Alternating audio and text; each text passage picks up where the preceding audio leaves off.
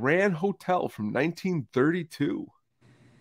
This is um, when you suggested this movie a couple weeks ago. I immediately watched it right away. Um, very awesome. Why don't you give a little background in the movie? Well, first of all, what did you think of it? Oh, I I definitely enjoyed it. Okay. Was what I really like, what I really like, and the reason even I love doing these with you is I'm very empathetic. So as soon as I tune in to watch this movie, I put myself in 1932, and I imagine myself because you know the movie won Best Picture. Yes. So I know that it's it's obviously was regarded highly, but then again, I'm also going into it knowing a lot of these actors too. Mm-hmm. Um, I, I definitely enjoyed it. I watched. I always I'm a trailer trailer fanatic, so I watched the trailer before, and um, I, I was I thought it was very good. Yeah, it's uh, it's kind of funny you mentioned that you know I won the Oscar for Best Picture, but because here's the thing, like when I was thinking about, I'm like, you know, what movie should I do? Is you know, and I was thinking and thinking and going back, you know, for some reason, the last handful of movies I've done for you, last two, have both, but I mentioned this, you have both been from 1947, oddly enough. And that was just a coincidence. It wasn't just like I was like, I'm going to pick two movies from 1947. So I was looking through and I was thinking of another movie to do, and I was like, well, this was made 1948. I'm like, that's too close to 1947. So let me go back a little bit even further. So I was reading um, a few nights before I watched this again. I was reading something on this and it kind of stuck out. Now, I'm not a guy who takes, like, I'm not a big fan of the Oscars. I don't really watch the Oscars anymore. I really haven't, honestly, since, uh, it, it, this might be a little childish, but since uh, Daniel Day Lewis didn't win Best Actor for Gangs of New York, I was like, screw these. These aren't even now. real. Up until that point, though, up until that, were you were you a fan up until that moment? I wouldn't say a huge fan. I, I would I'd watch them and okay. just pay attention to kind of see who won. Um, but you never gave any more uh, what's the word I'm looking for juice to the movies at the Oscars than you did any other movies. No, not really. I really didn't. That makes sense. That's that's good. But I'd still watch the show and kind of see who won, who was nominated, so on and so forth. But after that, I, I, I haven't watched it. Like you know, I, if I'm flipping through and it's on, I'm just kinda stuck. Kind of still keep flipping. I'm like, you know, I'm like whatever. I don't care.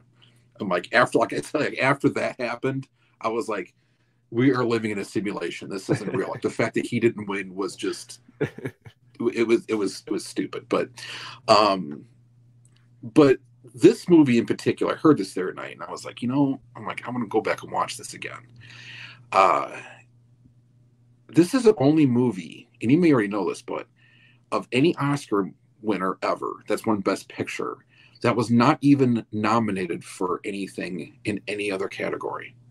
That's crazy. Yeah. Um, so like the actors, um, it's crazy because it came out director, in 1932, and, and since that time that hasn't happened at all. But just crazy over in general. Yeah, and, and but and, and granted, back then you had didn't have nearly as many categories as you do now. But you got to think you know, from and so this came out in 1932. So 1933 is when uh, the Oscars were held that had this included in it, and from 1933 all the way to today, any movie that has been nominated or won Best Picture has had, I shouldn't say one Best Picture, has been nominated for something in another category. You know, whether it's someone on the production crew or whether it's you know the director themselves or you know the actors whatever.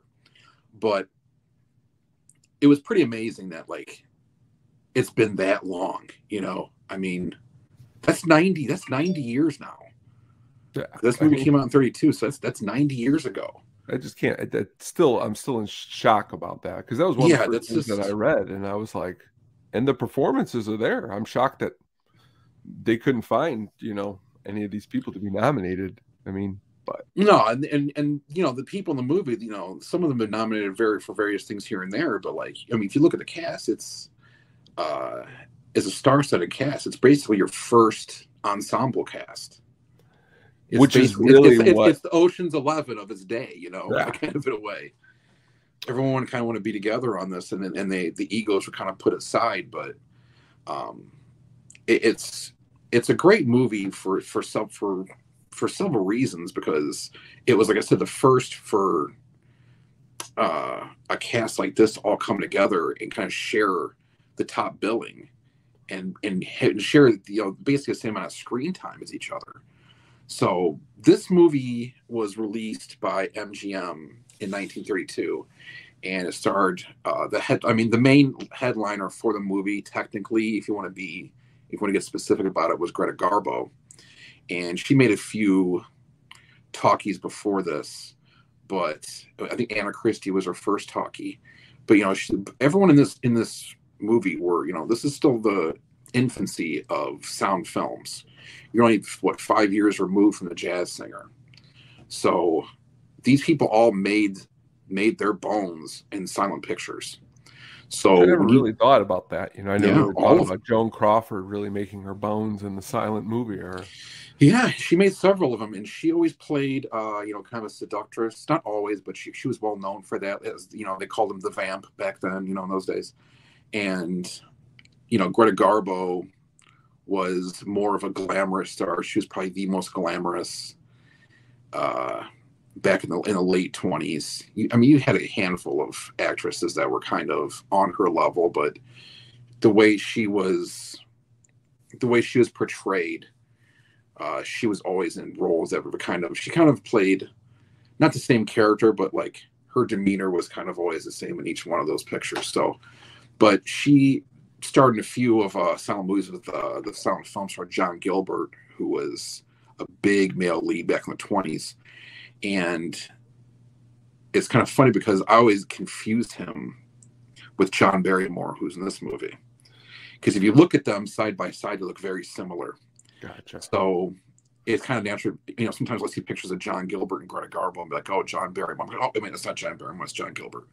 But either way, it's neither here nor there. But um, John Barrymore actually came on board because he wanted to act with Greta Garbo so bad that he took a three picture deal from MGM and just to get in the movie with her. Didn't really care what the other movies were. I couldn't even tell you what the other movies were, honestly, that he did. But he just cool back like, the way like, they did that. Do they do you know do they still do that picture deals? Is that how it still works or I don't think so. I mean, that's a goal. Is, I, I, never really thought about that and doing the show the yeah, whole time, talking about picture deals. That's definitely. I, I don't think it's like that because the studios back then, and I mentioned this on a previous piece of death. I'm not sure it was late. I think it was it was late in the lake, where the studios had such power back then, mm. and you worked for them. It was it was it was basically like I, I liken it like Hollywood to Major League Baseball gotcha. where you had the reserve clause in Major League Baseball for years and years and years and years and years, where you worked for, you know, one owner and they could do whatever they wanted with you. You know, there was no free agency back then. And this is kind of the way Hollywood was at the time too. Now, big time actors and actresses had, did have a little more power because they could sign a deal, and then once they were done with that deal, they could go somewhere else. But like owners in you know Major League Baseball, you know, had you know basically the CEOs of these film studios would collude with each other and say, okay, well, if this person's going to you know be difficult in their negotiations, then we won't sign them either. You know, they kind of made those agreements, those little gentlemen's agreements they called gotcha. back then. So it kind of gave them limited power. But you know, stars like Greta Garbo, it kind of didn't matter at that point. Like, you know, I'm talking about A list, like the superstars of the day. Another movie studio is not going to be like, like you're not like you're not going to have like you know Harry Cohn from RKO, you know, in the, in the late 30s or something like that. Be like, okay, you know what? I'm I'm not going to sign Greta Garbo because she doesn't want to work for MGM anymore or Warner Brothers or something. Gotcha. They do it, you know, for those specific actors and actresses. So it's kind of all bets were off with them, but either way, at this point, she was with MGM, um, and she was she was still happy with it. It's kind of funny because she, at this point of her life, they're kind of saying, okay, she was kind of on a downswing in her career, and she was getting, you know, everyone's like, and, and people think like she was getting older, and she, I'm like, she was 27 when this thing was made. I think right around there. So she wasn't good, but they churned out pictures back then, like you know, one after the other, a handful yeah. a year they come out with. So doing for John Barrymore to do a three picture deal with MGM is only like a year commitment for him or two year commitment. It wasn't that big of a deal. but he was like, screw it, whatever. He's like, whatever you offer me, he's like, I'll, I'll do it. I just want to be in a, a movie with Greta Garbo. So he plays her main romantic interest in this movie. Um, Joan Crawford is actually her and Lionel Barrymore and let me get a little into the Barrymores. You know, Lionel Barrymore is John Barrymore's brother, and they okay. are all related. I, I, you know what? I saved to look into any of that because I wanted to ask you. Okay, they're brothers. All right, they're brothers, and they're they're all part of the large Barrymore family. You know, Drew Barrymore is part of that family, came from that family. Uh, I think I think John Barrymore's her grandfather. Lionel Barrymore is like a great uncle or something of that nature. And Lionel Barrymore was a great actor in, in, in his own right John Barrymore is more your typical romantic lead in a movie. Lionel Barrymore didn't have quite the striking looks that John did, so Lionel kind of did some different uh, types of things. But either way, like him and Joan Crawford were probably the most impressive to me in this. And I have a little favoritism toward Joan Crawford because I always kind of per there was always a little thing we know who's better, her or Bette Davis is kind of this little rivalry they had going.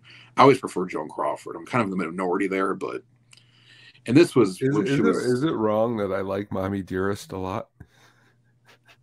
Why would that be wrong? Well, I don't know. I mean, it's such a good movie. I mean, I don't. It know. is a good movie. You know, and honestly, but like honestly, that time period, like you speak of, it's it's totally different than than anything that, that I can imagine that's going on today. So I'm with you. I've always been a big Joan Crawford, Crawford, Crawford fan too and this is kind of before she went a little, you know, people think, well, she went a little nuts or she started yeah. behaving oh, yeah. oddly. This is all before that all happened. Oh, yeah. She was, I mean, you, see, you saw the way she looked different here than she did, not oh, just in Mommy Dearest, but like in any movie she did, you know, 40s, 50s, whatever. Oh, sweet. Like uh, she looked, uh, whatever happened to Baby Jane. Yeah. Yeah. Those movies. Definitely looks, definitely looks a lot different. She, this is pre, I mean, she was a star, but she wasn't like the superstar that she became until this movie came out and post this. Um, but those, but Joan Crawford and Lionel Barrymore were the most impressive to me in this movie of this whole ensemble cast. Uh, Wallace Beery was in this movie, and he played uh, director. I think he pronounced it Preysing, and he, so Joan Crawford's his stenographer that's traveling with him, and this whole movie is about a group of people, like these five, basically, who are staying at the Grand Hotel in uh, Germany at the same time, and kind of their stories. It's about their stories intertwining, how they affect each other. I thought so, that was kind of cool how it didn't. T- I, you know, I was thinking that the movie was going to take place in America, but it took place in in Germany, which I thought was yes. cool. It was different for, you know, for the time. I'm, I'm, it's cool that they did that. And each character was different in their own right. So like, not one character was alike with another one. Mm-hmm. So like Greta Garbo was a Russian ballet dancer who was kind of uh, she was kind of on her way down as well, and she was kind of depressed. And this isn't the movie, not in real life, but um, in real life she was kind of aloof anyway. But I don't think she was depressed or anything. But um, so she was staying at the hotel, and you know John Barrymore is a baron, um, and he actually is in trouble because of uh, different gambling debts and things like that, debts he owes to different people. So, because I'm not going to give away too much of the whole movie, but he needs money. So he's kind of a grifter. Um, he's basically like a cat burglar too, and that's how he ends up meeting Greta Garbo in this movie. Um, this is kind of where you have to suspend a little bit of reality because you know they kind of fall for each other. He falls for her, kind of like almost seduces her in a way and she falls for a guy who is about to rob her you know? Like so it's it, it's a, it's a little strange like you, you kind of gotta like i said stretch your imagination out a little bit about how, that relationship develops but in joan crawford's uh, wallace beery the director of uh, a company like his stenographer he hires and it's implied that you know there's sexual things going on between them as well as part of her gig but you never actually see anything or it's not said directly. But uh, Lionel Barrymore is a guy who who has who has an uh, who's ailing and basically he's he's dying. Is basically what's happening. He's dying, and so he's going to spend his money and have the best time he possibly can have until he does. So he is a very sympathetic figure in the movie. Like he's definitely the face of this movie. The biggest heel and biggest, you know, villain I would say is Wallace Beery's character. Yes. Um, who Lionel Barrymore actually in his character in the movie worked for Wallace Beery's character, so he kind of knew what kind of guy he was. But Lionel Barrymore is definitely the most sympathetic figure in this film, and they portray him the whole way out as as that. And John Barrymore, it's kind of funny because he it's like he do, he wants to do some despicable things. He kind of does, but at the same time, it's like you see like the good heart he has. Like there's one point where you know Lionel Barrymore drops his wallet, kind of loses it, and John Barrymore is like, "Sweet, well, I can you know." get this guy drunk get you know he and then yeah help get some of his winnings that he's getting at the tables and he sees him drop his wallet he's going to steal it then he kind of hears a story he ends up liking him so much that he's like he pretends like oh hey old boy i found your wallet and here's your wallet back and everything and it seems like greta garbo he's to steal stuff from something from her and he ends up uh, falling for her so it's really interesting how the the relationships in this movie well, develop yeah. you know because yeah. this is something like i said you know what the thing you mentioned in the beginning was you've never you had to put yourself back in the 1930s which you really do for a couple of reasons one i've mentioned before and one of the things i've written is people don't talk that way anymore to each other. They just no. don't. No. You don't they don't interact that way. Another thing is in the early 30s like i said it's still the kind of the infancy of talking movies. There's a lot of pantomime still going on in these films. So you would see a lot, of, you know, Garbo would do a lot of, you know, when she's upset about something, you know, you see her like flip her hair and like, you know, look off in another direction or put her arm over her head like this, like, you know, something's bothering her. There's a lot of pantomime going on, a lot of movement. Um, so you have to hit your, you know, the actors have to, you know, hit their marks all the time. And that's something that they still did in the 30s. And they still did it in the 40s and stuff too. But like, as, as time passed, you saw that kind of go away because silent movies are basically stage plays in movie studios, you know, because there's no voicing, so you had to use your body, you had to move. The movement was very important in uh, how you portrayed whatever character you were playing. But this movie was no different. But it did it pretty well, and it didn't go overboard with it. Uh, the cinematography in this one's interesting too. Like if you see some of the camera shots in this, it was like if you see a great shot of uh, looking down on the basically the lobby of the hotel, and the way it's shot is like wow, you're like you know you never see anything like the way they zoom in and out and the, the scope of the lens they use, but they spared no expense in this movie.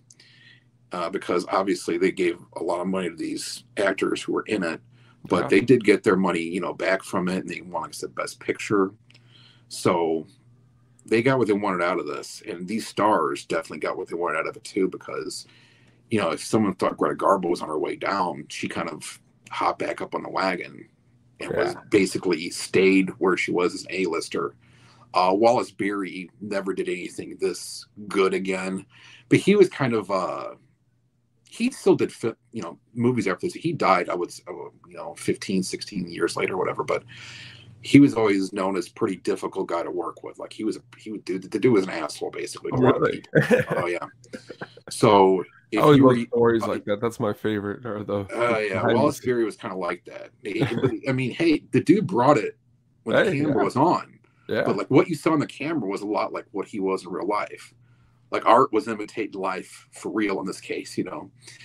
But John Barrymore was a was it was him and Greta Garbo got along swimmingly in this movie and he loved working with her and she loved working with him. She was always Greta Garbo was always known as kind of you know a person who was very reserved, uh, aloof, mm. but and then she had her moments where she was kind of you know nasty as some people on screen but like you know joan crawford like worshipped her like she was like so happy to work with her and she was pretty cold to joan crawford initially but uh it, they kind of worked but it, it wasn't like you know a thing where she was just you know dismissive well, she was kind of dismissive, but it wasn't like an ass to her, like purpose. That was just the way she was. That was the way she acted. Gotcha. So, but then it, it kind of, you know, she kind of grew on her and she respected her a little bit more for what she, you know, because she saw if she had to have seen it, you know, in, what, what kind of caliber of actress she was. Yeah. So I mean, amazing. But yeah, the guys like Lewis Stone, Jean Hersholt, and Lewis, um, they're you know the supporting characters. But this movie was dominated by the actual stars, and it had to be. The supporting cast was kind of just there to move the plot along. But well, here, it's sorry, was that what I was going to do is here is I got a couple four clips here to play you. Okay. You tell me what you think of these clips. Here's the first one here. Let's see if this works. I wondered what had happened to that old porter if somebody jumped on him from here. I'm sure I don't know. Why don't you try it and find out? Did you hear that part? Yes. So that is uh Joan Crawford and John Barrymore. Yep. And uh Joan Crawford, like he meets her before he, John Barrymore meets her in the movie before Greta Garbo, and he kind of tries to hook up with her first. So, so yeah, the dude was. I was trying to be smooth all over this movie. Well, yeah, and, and he was, you know, he was very smooth but, uh, and yeah. he would let to be known, I'm a Baron, you know, so like they knew who he was. Just that but, term anymore, dude. Does anyone still use those terms? Baron? Is that is that still a? Is, yeah, are there barons so. still around? I don't know. There, there's got to be barons. You know. I know in uh, I mean, it takes place in the Gilded Age. Granted that, but the Age of Innocence. Uh, Michelle Pfeiffer's characters. She was married. She's a baroness because she was married to a Hungarian baron. Okay, that, you know sense. that's what she was getting away from in that movie. But I'm not sure. I mean, there's got there's still. I'm sure there's still titles of that in Europe, but I mean, I'm sure also they don't really have nearly as many responsibilities or anything like they used to. Kind of like the royal family in England, where they're kind of just you know, oh, yeah. the monarchy is just kind of there, and they're you know respected, but they don't really make decisions on what goes on, you know.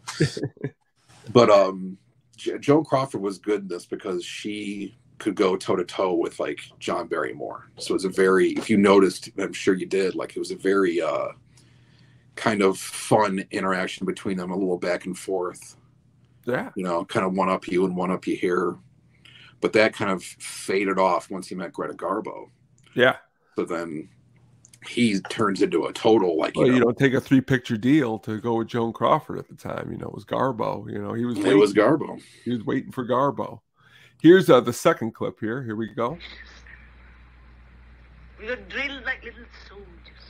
No rest, no stop. I was little, slim, hard as a diamond. Yeah, that's uh, well, that's Greta kind of reminiscing about how she used to be because her career is on the wane. I really like her. I really like, you know, it's again, it's something they don't do anymore. But like, nobody's got a voice like that or acts like that in a movie anymore. Well, she was. She learned English in the early 20s. I mean, she was she was Swedish. Yeah so awesome. she came into Hollywood and she, you know, she didn't know English when she first, which it didn't matter. You know, when you did silent movies, it, it didn't matter if you knew English or not. Sure. So that's another thing people don't realize is a lot of these actors and actresses that were, you know, big in the 20s and silent era, a lot of them didn't make it over to sound films because they didn't know, you know, Hollywood dominated back then. And like, if they didn't know they couldn't speak English or, they can go for any movie, you know. I mean, which I didn't think of, I guess, either for the silent movies, is you didn't need to speak English for this. No, you didn't. No. You can mouth whatever you want, and that uh that title, those cards will come up and say whatever they need you to say. Yeah. Very, so, very but she, but Greta Garbo, you know, but she, it, the thing about her is she did transcend both because her voice was very, you know, when you, we, how many people, you got to think about this too. Back in 1932, people, how many people heard in the United States heard Swedish people talk before. You know, it's not like it is nowadays, you know. Mm. So you hear people not a whole lot at all. No, you probably didn't have you know access to the silent movies and going to the show and. I'm Other sure than that, you just, neighbors. Hey, yeah. that's my new neighbor. He's from Sweden. You know, nothing. Yeah, you just knew that. the people that you knew, and that was pretty much it. You didn't really, you know, know yeah. foreign people unless they came here for whatever reason. So, but she was uh definitely awesome though. I definitely yeah. like her performance. I mean, you're right; it isn't the best out of everybody, but it still makes the movie, I think, pretty pretty good, pretty solid. Yeah, it, it, it, does adjust it. She just, she certainly doesn't hinder. None, none of the performances hinder the film in any way. In this, no, you know, not at all, not at all. So, like, you know, there's no part you're watching. You're like, well, this person's on screen now, so I'm just gonna be like, oh, let's wait for you know. you're not. You're not. It's a, everyone's interesting and intriguing the stories are intriguing and how you know they interact with each other is the most intriguing part. So here is uh, here is the third clip. Here we go. You were more of a coquette, not so ladylike. What did you expect? Wouldn't you like to call me by the first name? Well, I don't know what he wants. I never saw him before. I know you. I've kept your books for you, and I know all about you. If one of your employees was half yeah, so that's that. Let me go to the end of that first. That's yeah. that's Lionel Barrymore. Yeah, who I mentioned earlier. He was probably honestly, he was probably my favorite in the movie. That whole part right there was my favorite. Yeah, it was it was Kringelein. I love saying his name, Kringelein. Um, but he worked for Wallace Beery's character Preysing in that movie. So, but that was kind of the hinting of toward you know, do you want to call me by my first name? Because he was trying to like you know, hey I know you're my stenographer and you're working for me, but you know, he mentions, you know, something being ladylike and not ladylike. And that's when she was like, well, what'd you expect? And he was like, why don't you call me by my first name? You know, and if you saw, you know, you know his character in that movie, he doesn't want anyone calling him by his first name, you know? No, no, not at all. So he was definitely trying to, you know, getting her honey potter, that's for sure. but uh I like yeah. how the movie's in black and white and then if you see here in this middle copy when they re-released it in the color, I like like John Barrymore how he like he more you know like everyone is it's more in color than I mean I love the black and white too. It's very it was awesome, just an awesome movie all around. I think it was like the, and the, you know a lot of people don't realize the clothing they wore back then too. Yeah, they had to make sure that the whites and the, you know things that appeared white, things that appeared gray, and things that appeared black. No matter you know if you're wearing blue, red, like if you're wearing like a light red, it's gonna appear gray. So they made sure they had to wear certain things.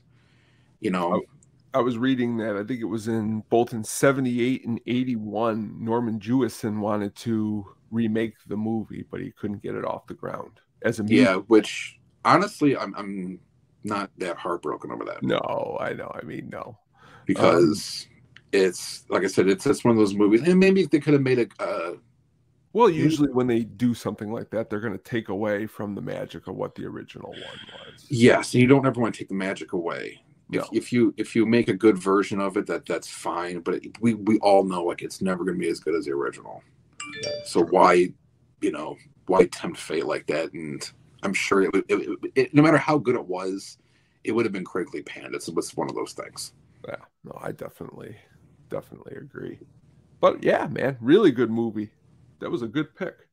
Yeah, it was an excellent movie. the The runtime is it's not like a three hour movie or anything like that. The runtime, um, plus you know back then they didn't make you know when they started making talking movies, the run times weren't ever excessive because, like I said, they wanted to make as many movies as possible, get them all out. You could see your stars, see them talk. Um, and that, that was actually set, that sold uh so like when Greta Garbo made Anna Christie, that was her first talking movie. Um, it was like Garbo talks. There's a movie that she makes like well Garbo laughs.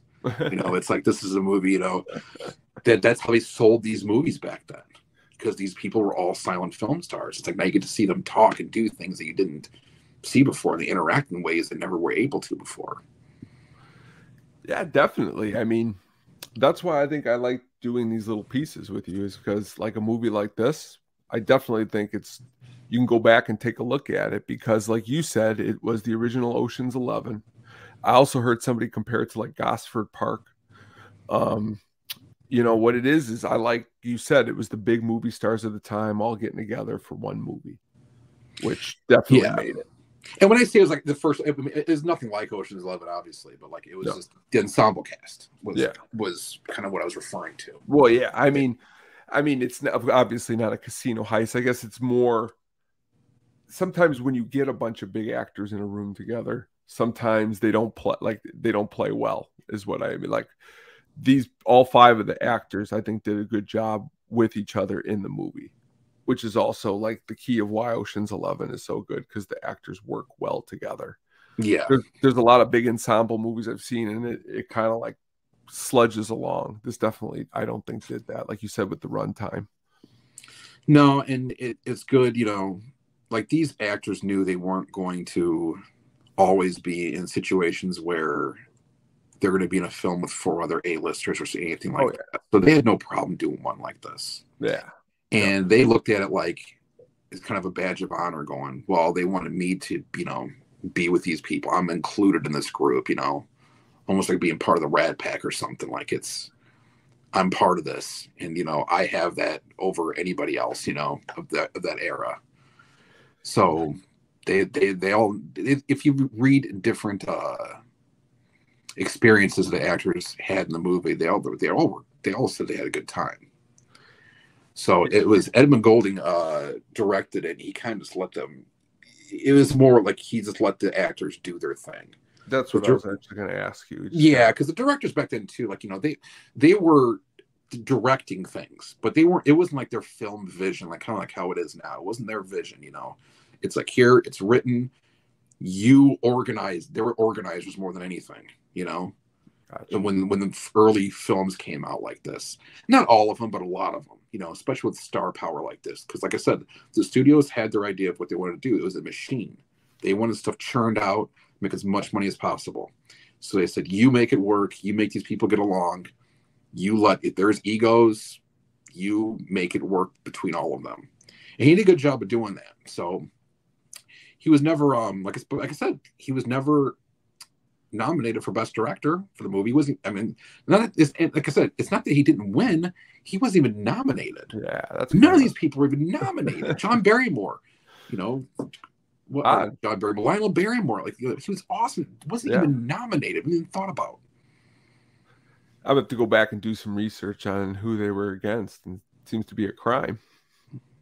Yeah, and but like it's But hey, look, Citizen Kane didn't win Best Picture either. It lost yeah, out. that's true. A Yeah. lot of a lot of things, like a lot of my favorite movies, aren't even nominated, and they're Yeah, great like- movies. So it doesn't always have to be that way. You know? No, you ask people, you know, how good, how many times they've watched How Green Is My Valley, you know, and that was directed by John Ford, Yeah. but that wasn't nearly the movie that Citizen Kane was. No. No. no, And, no. and time, that's what I'm saying. I I don't take those things too seriously because certain people win. Adrien Brody is a great actor. He was awesome, the pianist, but he was not as good as Daniel Day Lewis, not even remotely. Wasn't the same ballpark, wasn't the same fucking sport. Okay, well, since now, uh, really quick, well, while I wrap up the really good, the Grand Hotel is awesome. Check out the Grand Hotel um, from 1932. Go back and watch it. Um, back to the topic in which you said really quick here. Are you so you don't think Adrien Brody is in the same ballpark? No, his performance in the pianist. You don't think it's in that? You don't think that his performance in the pianist is in the same ballpark as uh, Daniel Day Lewis and Gangs of New York? No, not really. Okay, okay, so let's go Gangs of New York against There Will Be Blood. Are those two performances in the same category? Yes. You don't think There Will Be Blood is like a lot better than? Not not his individual performance, no. Gotcha. Now, I love There Will Be Blood is probably still I mean that came out what 2008? Yeah. 2007 right on there. Yeah. Um that's probably still one of my favorite movies of the last 20 years. Yeah, I mean that's like that's a that's a really really really really good movie. But look, and, and the thing is, it's very similar to like how he, you know, Daniel Day Lewis. We all know what you know, kind of an actor he is. He he manipulated his own voice to, like Daniel Plainview sounds a lot like you know, like Bill the Butcher, kind of the way oh, he, he does. that. Yeah.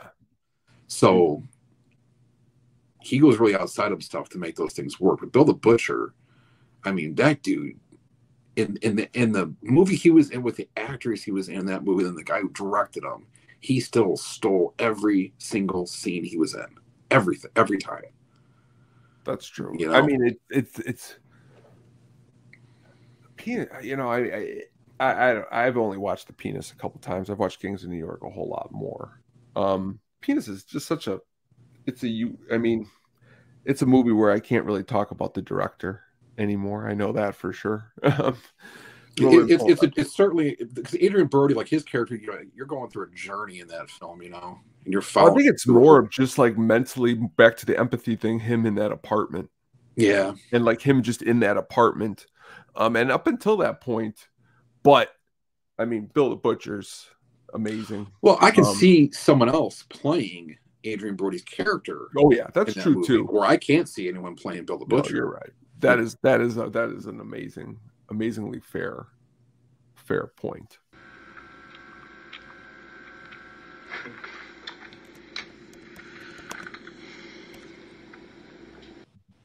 Um, just there's a lot of like in this movie right before you explain it. Just it's a lot of subtleties that I, I really really enjoy.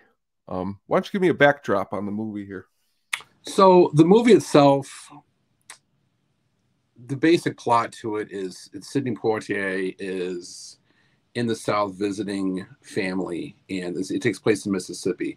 The city is called Sparta, Mississippi, and it's a fictional city, but it's based off of a real city, which is Sparta, Illinois. Sparta, Illinois is it was the, the movie itself was filmed in Sparta, Illinois, because they really couldn't film in Mississippi because there were there was a lot of racial tension back then and actually Sidney Poitier and uh, Harry Belafonte ran into had a little run-in with Klansmen down in Mississippi before, so they didn't really want to film down there. So they used a city um, in Illinois, and it's a rural city. It's just it's just a little south, if I'm not mistaken, it's a little southeast of St. Louis, so it's pretty close to the border over there. And for most of the shoot, uh, a little bit of it went into Tennessee, but even in Tennessee, they ran a little bit of problems too and which mirrors the problems in the movie itself you know? So it's kind of odd that like you know even the, filming something like that you get uh you get that idea of what these people were going through down there at that time and you know just and this is just post civil rights act you know mississippi. So it's it's a rough area for people of you know of color and you know but he's a detective from I think Pennsylvania, and he's down there visiting family. And there's a murder in this small town of Sparta, and one of the officers actually sees him at a train station, just a black guy just sitting in a train station alone. So he automatically suspects him of something, so he brings him in. And the, the actually the officer who does bring him in is Warren Oates, who was in you know Warren Oates was in a handful of things as well and he was in the Wild Bunch. Um, Stripes. In Peckinpah. Yeah, he was in Stripes. Uh, he was in the. He played Dillinger in the Dillinger movie from the seventies. Yeah, Um, East of Eden, nineteen forty one. Actually, with Spielberg's nineteen forty one. bring me Um, the head you- of El. You ever see Bring Me the Head of Alfredo Garcia? Yeah, Sam Peckinpah. That's pretty good. love Sam Peckinpah. But um, Monty Python did a great skit about Sam Peckinpah. By the way. Oh yeah. Um. Yeah. Um, but Warren Oates was actually a civil rights, kind of a civil rights activist himself. So it, it was it was kind of weird to see him, you know, play a you know that type of role in the movie. But he was terrific in it as kind of a, you know, a, a racist but a bumbling cop. But he brings him in, and um, he gets pretty much uh, exonerated, and because you know he meets up with uh, he brings him into Rod Steiger, who's the chief of police of Sparta, and Rod Steiger is absolutely Rod Steiger. Rod Steiger is my favorite character in this movie. Is uh, Chief Gillespie. Um, he actually spoke in a southern accent throughout the whole shoot, just to keep it as basically as natural and as authentic as he could. He did a great job with it. He's an underrated actor too. Another underrated Well, yeah, I mean, in his own right, right, you know, but and before that, even you know, he did. uh He was in the Longest Day. He was in uh the Pawnbroker. It's the Pawnbroker's a fa- fantastic. Yes, that's a great, great movie. Uh, I actually, for a little bit, was a pawnbroker, and my boss was like, "You got to watch the pawnbroker," and I was like, "Oh, okay." Um, but he's also really good in um, uh, what was it? Uh, on the waterfront. On the waterfront, he was known. You know, he's definitely known for that. And uh Doctor Zhivago, Oh yeah, almost every David Zhivago. Blaine movie is Doctor Zhivago. He was in that. Um, and actually, they had they wanted George C. Scott to play Gillespie initially, but he was committed to something else, so they brought in Rod Steiger. But Rod Steiger did a great job of. uh if, if, if, you, if you listen to his vocal, basically his vocal mannerisms in this movie, he's very quick. He's very quick witted with everything. So his lines are all delivered very quickly. Blah blah blah blah blah blah blah blah. blah. so you know, and he just uh, he really really is a great um, opposite for Sidney Poitier in the movie, and you kind of see that um, evolution and metamorphosis of first he has nothing but disdain for him, and then he grows to kind of respect him and then rely on him, and then towards the end he you know he kind of just likes him, and you know the end scenes like you know he tells him he's like hey just take care of yourself, Virgil. You know, he called you know, but so the movie's a murder mystery, and Sidney Poitier is ordered kind of by his own captain up north to help them down here with this. And not really ordered to, but he was like, you know, he's at your disposal if you need him. And, you know, being a Southern police chief, Rod Steiger's character Gillespie was kind of like, no, you know, we don't want to do. Then all of a sudden he's like, you know what, maybe we do need this guy because he is a forensics expert, and there's things that that he could do that they had no, you know, they didn't know what forensics even really was, and they they were, you know, so you see Sidney Poitier throughout the movie do his job as he normally would, but facing resistance every step of the way from you know the locals down there. But in, Nor- in the guy who filmed this, Norman Jewison, who I want to talk about for that, that, that's what I was looking at right now as you were talking. I was looking down, and I, I'm a fool because I know you know, I, you know, until we you picked this movie, I didn't realize, and I had been on a big Norman Jewison going through his movies recently, and I don't know why the hell, man. I, have seen this movie. I don't know why I didn't know off the top of my head he directed it. So it was cool. It's really cool. Yeah, Norman Jewison he was kind of known for directing movies that were that you know had significant social issues at the time he films them. Like he, the Russians are coming, the Russians are coming. He did that one, you know, in the mid '60s. Uh, you know, one of my favorites we've talked about a handful of times, Rollerball, about how corporations, you know, taking over and taking away individuality of people and stuff like that. You know, he did that. I'm a big uh, fan of uh, Pacino and Injustice for All. And Justice for All, that's a great one too, man. Um, um the way that that when he freaks out at the end of the movie, man, it's great. Um, yeah, I've watched a lot recently for, there, for a romantic movie, Moonstruck. Moon, he does a good job. Yeah, he did Moonstruck. Dude, the guy's yeah. still alive. He's, yeah, he's going to be nine, what ninety seven this year. 90, I think he's born 20, 26 or something. So we just brought alive. him up a second ago. I did not know until looking down here. I don't know why I didn't pay attention. I did not know he did Denzel in the Hurricane.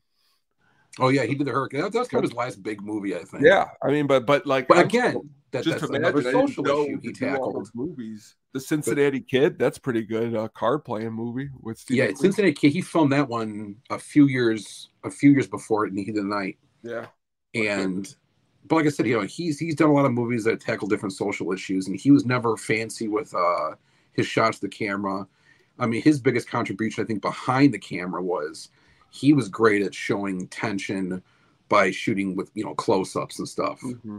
You know, not not like dolly shot close-ups, but just you know close-ups to increase tension in the movie.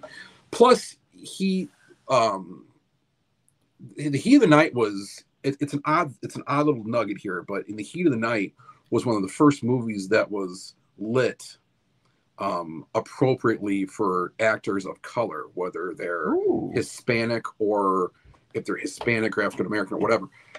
Because before, if you watch a lot of movies, like you can see something like in a, you, you can watch any older movie that was even in color, where when people are lit, it's real shiny off their face. It's just not yeah. lit correctly. They didn't care. They just kept doing it because it makes other actors look okay. It, it, it takes extra work to adjust to that. Yeah. This was the first movie where you saw someone of color be like lit correctly and you don't notice really it, it's something like that until you watch this movie compared to, uh, to, other ones previous to that, and even some after it too. But it really worked with Sidney Poitier's character. You know, he's he's lit correctly. Um, if you watch a movie like uh, West Side Story, now West Side Story, they did you know like makeups and stuff to make them look more Puerto Rican. They weren't really even Puerto Rican, like a lot, a lot of them.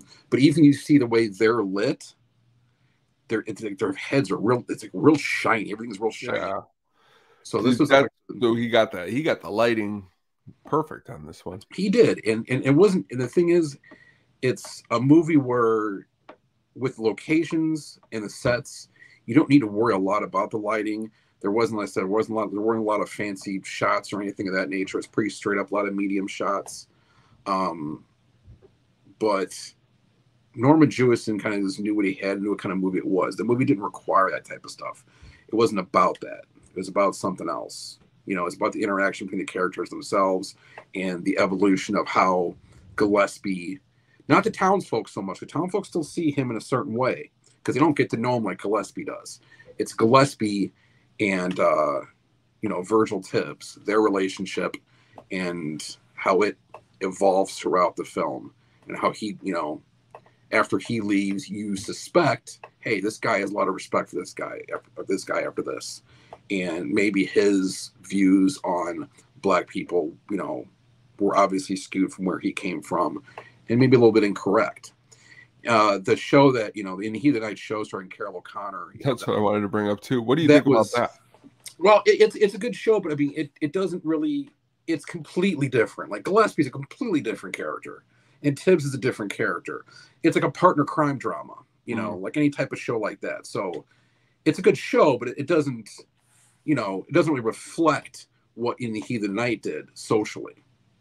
Gotcha. So, in the heat of the night, kind of just like you know, since murder's involved as well. I mean, it really just kicks you right in the face. And you know, one of my favorite scenes. It's, it's I mean, a great the time, scene. The time period too. I mean, it's as you stated earlier. Guess you know this, and guess who's coming out? You know, to dinner, coming out at the same. You know, the same time. You know, yeah. I mean, Sidney's and, taking, and, and it tackles two different things. You know, that's pretty you know, awesome. There's one situation where you're you've got a murder and you suspect foul play from this person because he's black and guess who's coming to dinner? You're just it's Spencer Tracy, you know, and uh, Katharine Hepburn, and, and, and they're just basically trying to come to terms with their with their white daughter being in love with a black man.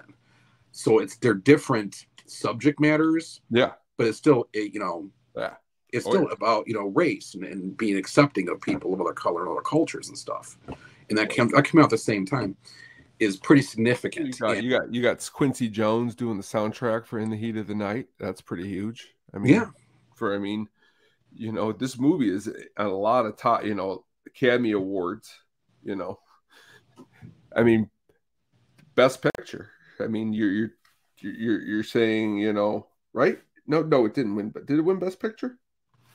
Mm, I don't know if it's one best. You know, you know me in the Oscars. I'm not really don't pay. Oh, I know you're not really best yeah, picture or not, but no. I mean, I know some of them. It did. I know Rod Steiger won. You know, Rod Steiger, I think won. Yeah. One for best sound, best film editing, um, stuff along those lines. I mean, yeah, you know, pretty, pretty, you know, yeah, like I said, it wasn't it wasn't filmed in, in, a very fancy manner. He just he shot the way he needed to to show the tension, and he still won an award for best editing. I mean, it was just, um, it was a very, it, it seemed like it was an easy movie to make and film besides the fact that you you had it, you know you couldn't do it actually in the location you wanted to in Mississippi because of like I said racial tension then. But uh, Sidney Poitier, he really made a name for himself in the late fifties, early you know in the sixties through this, and he didn't do much. You know, like I said, in the eighties, I mean, he didn't. I mean, Shoot to Kill, you know, he did that in the eighties, but like oh, that was a decent movie but you know, but it, it, wasn't very. There's nothing as nearly as prominent. It's almost like he peaked back then, and it wasn't his fault, but it's for what he stood for, what in the movies he made back then, that resounded so much with audiences, and especially the black community. That it's almost like how do you, where do you go from there? You know. Yeah. Now you bring up Denzel Washington. Denzel Washington is probably the modern day Sidney Poitier. You know, yeah. he, he and because they, they, all play very similar characters. The, my problem with um, I'm just going back to Denzel real quick. Yeah. My issue with Denzel is I don't, and maybe it's not his fault, but I mean he chooses what he wants to make. He's usually the same character in every movie. You know, he's the same personality. He he hasn't shown me like a lot of like, you know, comedic Vers- versatility. Yeah, a lot of versatility. Me and my friend John got into a discussion a long time ago about between Leonardo DiCaprio and Denzel Washington, like who's a better actor.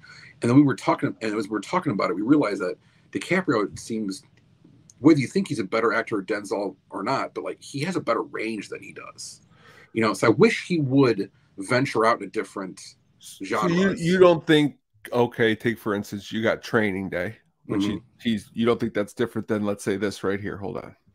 Is a brilliant lawyer, great lawyer. Point number two Andrew Beckett, afflicted with a debilitating disease, may be understandable, be personal. The legal choice to keep the fact of his illness to himself. Point number three, his employers discovered his illness. And ladies and gentlemen, So I mean, like I understand, you know, I mean, I get what you're saying. A lot of, Is- and I'm with you on a lot. I I, I like Denzel a whole lot, Denzel's Denzel's he's but a very- Denzel reminds me a little bit. Do you think? What about Tom Hanks's range? Do you think he's got a huge range? Do you think it's Tom pretty- Hanks has a better range. I mean, you look at Tom Hanks in Philadelphia, you look at Tom Hanks in Splash, or you look at him in something like Forrest Gump. I mean, these are completely different characters, different.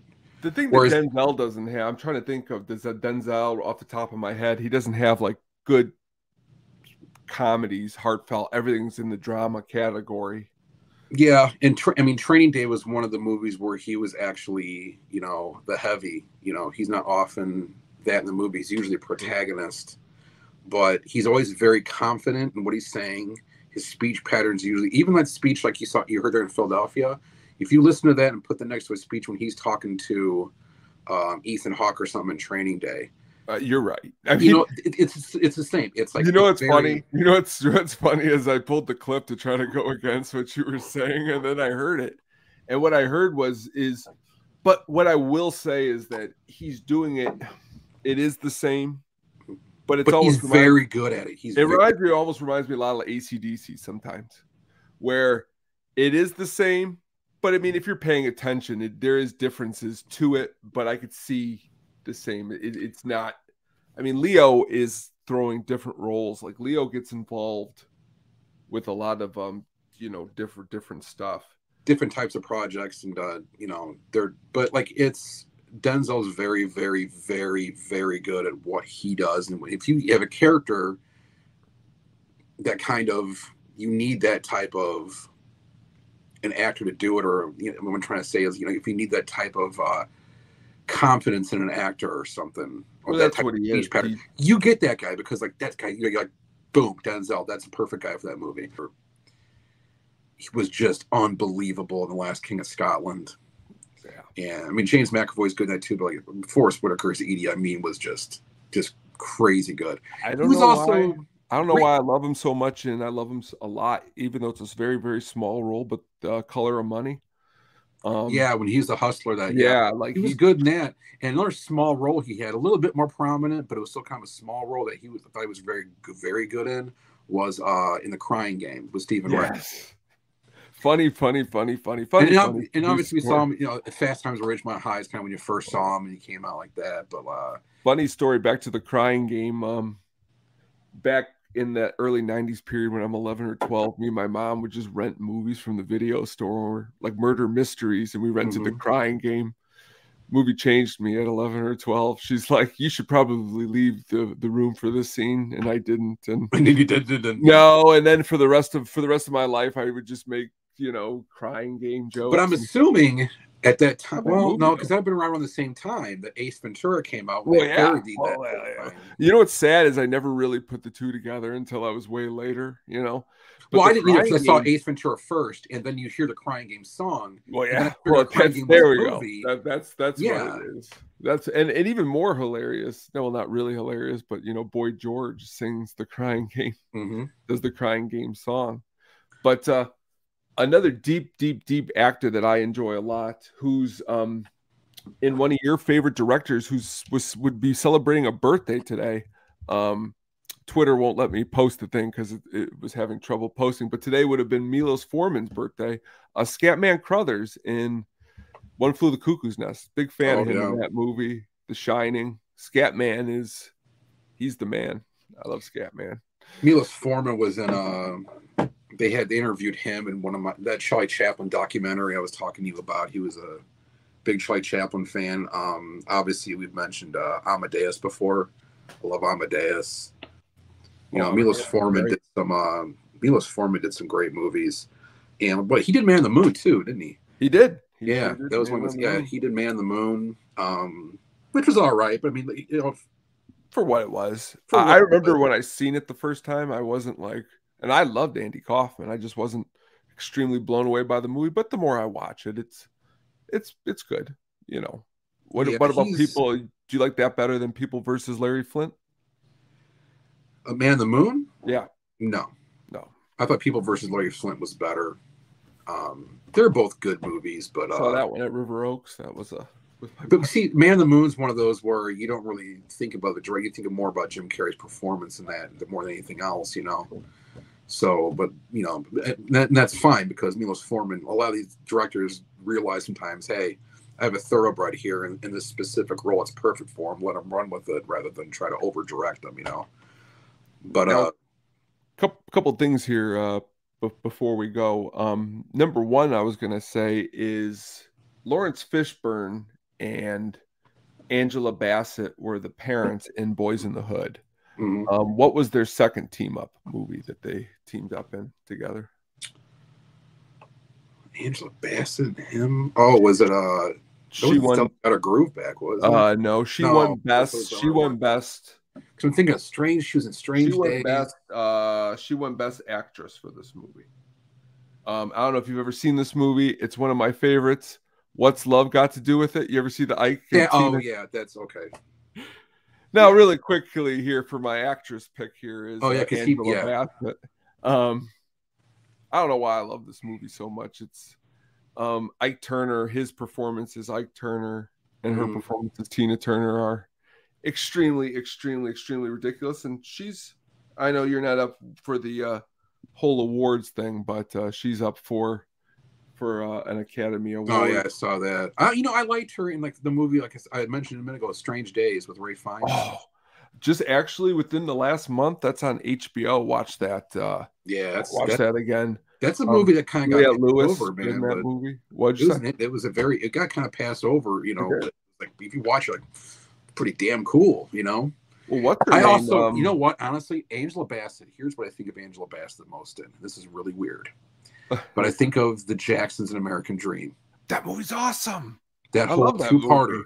Oh, I Yeah. could tell. You I could that movie, and I've watched the Temptations one more, the one that was like on TV. But uh, that American Dream was really was a really really really good. Um, that was a really good movie.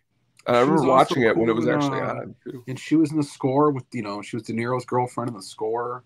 Oh, that's a good movie too. Yeah, like it, it's she's on she's on some cool things, but it's like recently you haven't heard much about her until No. this year again. Like No. she- so it's nice to see her. Well, I think a Come lot on, of do times, something. Unfortunately, I hate to use this, but they they they like they, they don't treat they don't treat uh old you know they don't treat uh actresses sometimes you know there's roles out there and they just don't don't give them to them any you know they just once you get a little bit older they start to like less and less and that's why it's awesome when you're uh you know you're uh be Yeah, nominated. because you a lot of them. Get I forgot she was with Denzel and Malcolm X too. Yeah, she was in Um, Malcolm X. We mentioned that. You uh Spike Lee, you like any Spike Lee movies? yeah, I like some Spike Lee movies. Yeah. Some of them are, are really, really uh clockers. That one's pretty uh him and Scorsese working together. Um before we uh, go here, I was gonna ask you about uh you uh you like let's see here, a couple movies here I was gonna pull up here before we we go here. Where'd you go here? Uh where am I at? We're all going. Oh, there we go. All right. Uh Eddie Murphy Raw. You ever see that? Oh, I've seen Eddie Murphy. Raw, Raw, Delirious, all me out. They're awesome. Classic. Classic. Uh you ever watch any of like the the Richard Pryor stuff? Mm-hmm. Big stand-up fan I am. Um, seen all that stuff. Um, I've always been a huge George Carlin guy too. You know, Bill Hicks. We both like Bill Hicks a Oh, lot. Bill Bill Hicks is So got there, there was a time where out me, my brother, and a couple friends of mine were, were just watching a ton of stand different stand up stuff from like you Oh, know yeah. Sam Kinison was a huge one. Um, from the eighties, seventies, where we was watching a bunch of even Redd Foxx. Um, I have a rec- if you've never seen this movie, I have a request. It's on HBO Max. It stars Carl Weathers and Craig T. Nelson. Action Jackson. No, I've seen Action Jackson. Action Jackson's great. We used to make Action Jackson jokes, yes, but Action Jackson is uh very, very, very, very awesome. But uh yeah, I mean we definitely we definitely got to the some good stuff here today.